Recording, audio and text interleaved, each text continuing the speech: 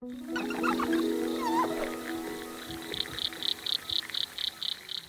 what's up guys? Welcome. This is another line work video. I'm using Disney ink from my Disney style brushes.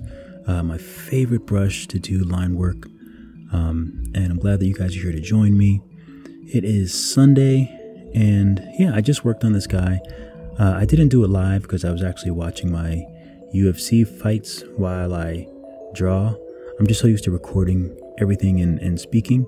So every now and again, it's nice to just draw and just be, you know, kind of able to zone out and just uh, do my thing. Um, I'm actually going to be doing line work on my new Skillshare class too. I did the sketch for the, the cute girl, and next up we're going to be doing line work just like this with this same brush. Obviously, the brushes are included in the class. Um, but I just love doing I love doing line work, and this brush just makes it fun. Uh, makes it fun for me. So yeah, that's about it. Thanks for watching.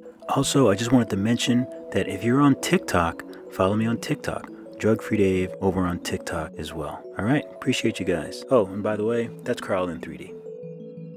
And as always, keep drawing, keep sculpting, and I'll see you all in the next video.